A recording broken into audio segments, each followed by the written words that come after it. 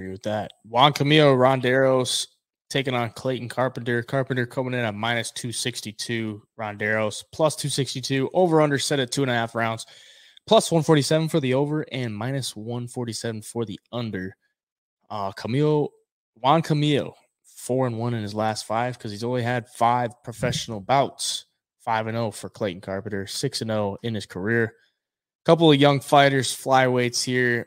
This is greasy as it gets too. I mean, you, look at the, the weight classes in the UFC. Flyweights are greasy, heavyweights are greasy, and in this one, it's just only gets greasier. Like Juan Camilo Ronderos comes into the UFC uh, on short notice against David Dvorak, gets subbed in the first round.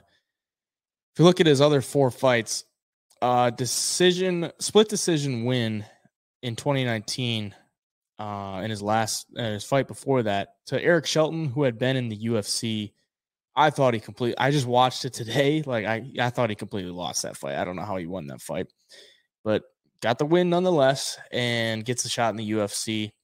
A couple of chokes on his record, so two wins by submission. Overall, it's just not that impressive. And he's five foot four, doesn't really offer too much on the feet. Really looks to to grab a hold of you or something like that. Like I don't know, just watching him on film, I just don't see a lot of strengths to his game. Um, for Clayton Carpenter, I don't know what to think of him. I mean, watching him on the contender series, he looked pretty hittable. He fights pretty wild. Uh, maybe that's just because he was on the contender series and he wanted to make a statement uh, and get a finish or something like that. But he left himself open a little bit. He had a huge welt under his eye. Uh, he he will look for the takedown though. That's that's really what he he looks for the in the most part. But when he starts the rounds, or when he starts round one at least, I mean he comes out swinging.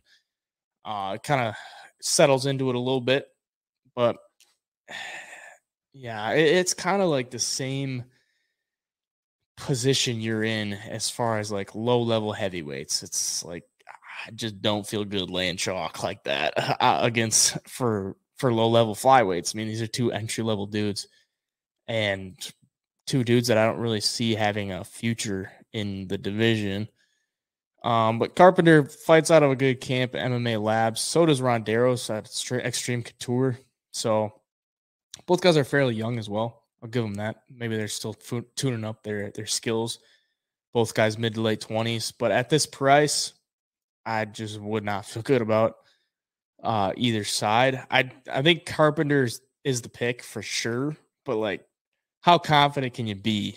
Uh, you know, he's sitting at minus two sixty two, so it's not terrible, but I just wouldn't really want to lay the chalk on on that. I just don't. Ronderos doesn't really do it for me very much. You have more upside with Carpenter. He's a rightful favorite, but I just still don't feel good about it. What about you?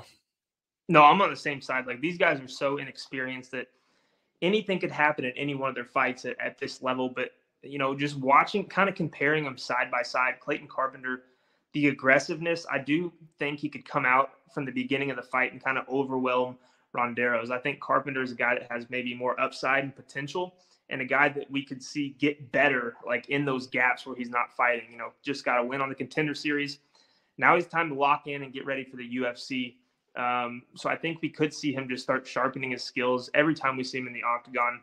Again, a guy that from MMA Labs is young enough to where you know all of these fights he's going to learn something in. I bet he learned a lot in his last contender series fight, and just he's going to use that going forward. I just I think the upside for him is a lot more.